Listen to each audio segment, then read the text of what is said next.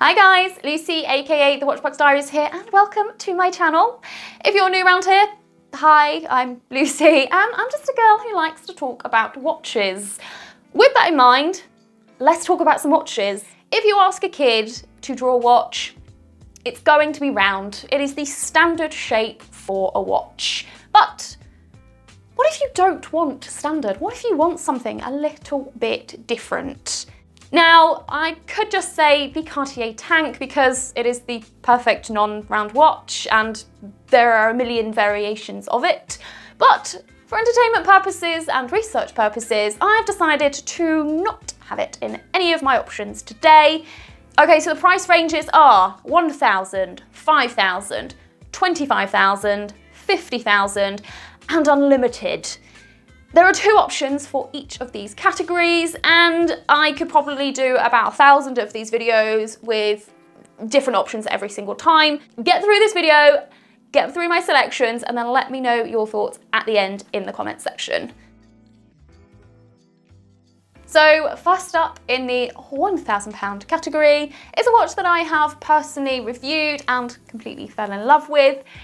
I have been a bit cheeky with the price straight off the bat. Um, it is ever so slightly over that £1,000 mark, but they are regularly reduced, so you can definitely get it under retail. That is the Seiko Willard, retailing at £1,050.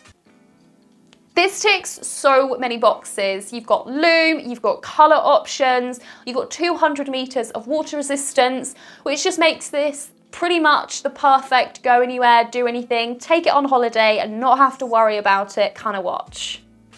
At 42.7 millimeters, it should be too big for itty bitty risk committee members, but it is not because of that glorious case shape.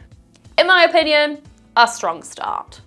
Option number two should come as no surprise. It has to have a spot in a non-round watch roundup. It is, of course, the Hamilton Ventura, which retail for roughly £850. For those who love Elvis and those who are major movie buffs, this hits both of those spots. If you're into both, then two birds, one stone, people. Elvis wore it in Blue Hawaii. Elvis is just cool. And it also featured in Men in Black, so again, hitting some movie sweet spots there. This is a truly unique case shape and definitely a conversation starter. If you're into watches, you're gonna know what this is straight away. And if you're not into watches, you're gonna notice that It comes in a variety of sizes, so there's a Ventura for everybody. The majority of these are quartz, but there are a couple of mechanical options available if you prefer. First up in the £5,000 category is the Cartier Santos Dumont, which retails in steel at £3,750. If you want the bimetal, it's slightly over the category at £5,400. Now, I said I wasn't going to choose the tank. I said nothing about not having a Cartier in this. You have to admit that Cartier is pretty much the go-to for anything non-round and the Santos Dumont is just beautiful. This is a design that I truly believe will never go out of style. It will always be a classic. And with it being quartz, you're not gonna have to set it every single day. Is this watch the best value or the most mind-blowing? Mm, probably not. But is it incredibly beautiful and just giving off understated elegance? Absolutely. Now, if you're looking for something a little less mainstream and a little bit more independent, then my next option should please you. It is the Nomos Tetra, which retails from around £1,800 to £3,300, depending on your selection. These are simple, square-dialed watches from independent German watchmakers Nomos Glashütte, and as Huey Lewis once sang, it is hip to be square. Nomos provide a number of different dial variations and some super fun colorways. 30 meters of water resistance might not be a go anywhere, do anything watch, but these will definitely be a statement piece on the wrist. They are super thin, super wearable, and for those of you who are mechanical watch people, they come in either automatic or manual wind, depending on your preference. My first choice is the Girard-Perregaux Laureato. Price range is anything from 10,000 to around about 22,000. This is another watch that I managed to review and absolutely fell in love with, so it kind of has to go in this selection. The variety of dials, complications and sizing provide a wide range of options, meaning there's probably one that you will love in their catalogue. If you're looking for something that's kind of like a Rolex Daytona vibe, but you want it to be a little bit more left field, I think the Laureato is such a good option. They look good on the bracelet, they look good on a strap, which basically just makes it a, another perfect go anywhere, do anything, take it on holiday kind of watch. Another option that I don't think will come as a surprise to any of you really, and that is the Bulgari Octo Finissimo because it's just freaking cool. They retail from 12,000 to about 25,000, so depends on your preference and how much you want to spend. Personally, I would go full titanium or the blue darks, it's a very nice blue, but I don't think you could go wrong with any of the selections because they're all fantastic watches and, as I've mentioned before, super freaking cool. Also, they are super thin, like how? How do they do it? Blows my mind. There's something silly like 5.15 millimeters thick. Hopefully, if you have seen one of these in person, you will understand my sheer excitement. Not only is it that thin, but there's also an open case back so you can see all of the movement just flat on it. So within this category, I would go full titanium or blue, but money was no object. They do a full sandblasted gold, which reminds me of the Caramac bar. I saw it in person, managed to try it on, and completely fell in love with it, and it was absolutely beautiful. Swiftly moving on to the £50,000 category, and if you have ever watched any of my videos before, or if you follow me on Instagram, this first option will surprise none of you. It is, of course, the Vacheron American 1921, which retails for 32,500 or 38,900 if you want the larger size. Now I will say that these have jumped up in price massively because when they first got released, I swear they were about £25,000 new and they're now 32 and a half. I know inflation has happened, but that's quite a big jump.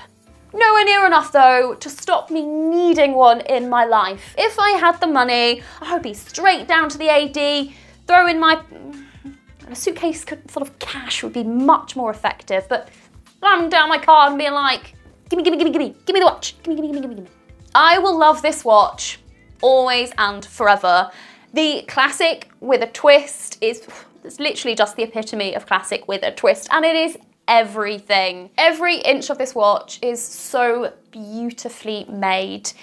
It's an iconic, unique design, but still has that level of timeless class to it.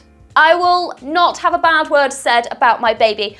People can have their opinions about every other watch, that's absolutely fine, but this watch, I will have no bad words. So again, for those of you who have watched my videos before or follow me on Instagram, my second option will definitely come as a surprise to you because came as a surprise to me, to be honest.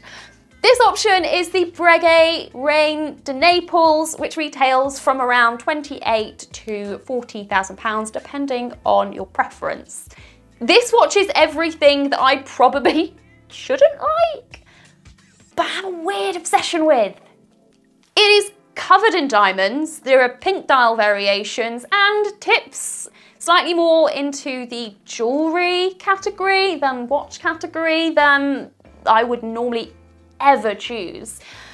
But somehow I'm still really drawn to it. My absolute favourite from the range though was a limited run they did, I think back in 2021, called The Beating Heart.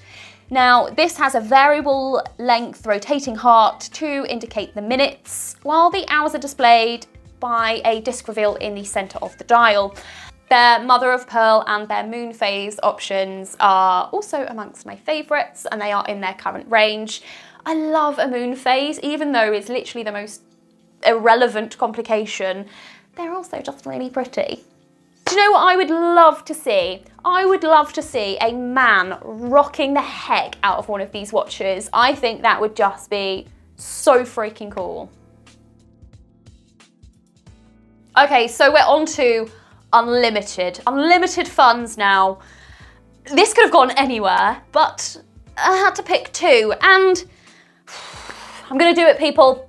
I am going to pick one of the very few Richard Mille watches that I actually like. I'm gonna pick their Bonbon range, the 0703, which retails for $153,000. I'm not a huge fan of the Richard Mille Flex. They aren't particularly aesthetically pleasing for me, and the majority of them don't give me that warm horological glow that I get from looking at a beautiful, well-made, innovative movement. This watch is just fun. Size-wise, they are 29.9 by 22 millimeters, which seems pretty stealthy for a Richard Mille. They are grade 5 titanium with a ceramic suite in the centre and they are limited to just 30 pieces. Okay, so my last option is the ultimate watch. When they first released this and I read about it, my mind was completely blown. It is the JLC Hybris Mechanica caliber 185, which retails for 1.35 million euros. I did say unlimited funds.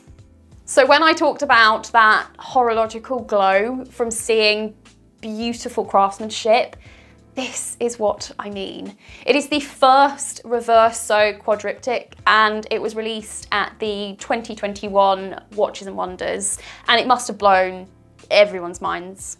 It has four faces and around 800 parts to it. Let me talk you through. So face one, We'll start simple. Hours, minutes, seconds. Flying tourbillon.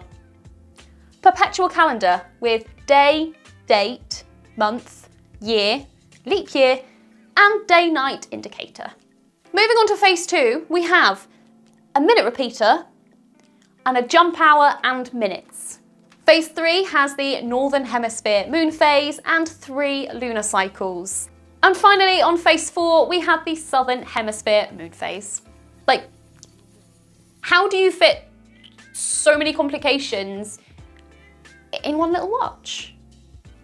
That is it. That is my non-round watch roundup done. Now, I could have chosen so many different watches. Maybe I'll do another video in the future.